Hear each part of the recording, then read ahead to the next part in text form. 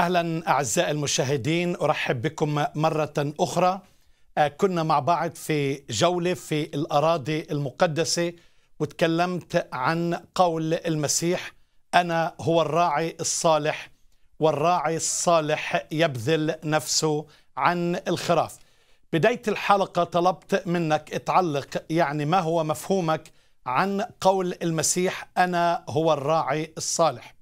ومن يستطيع أن يقول هذا التعبير؟ وكيف فهمه الناس المعاصرون لشخص المسيح؟ الناس اللي كانت مع المسيح كيف فهموا هذه التعبيرات؟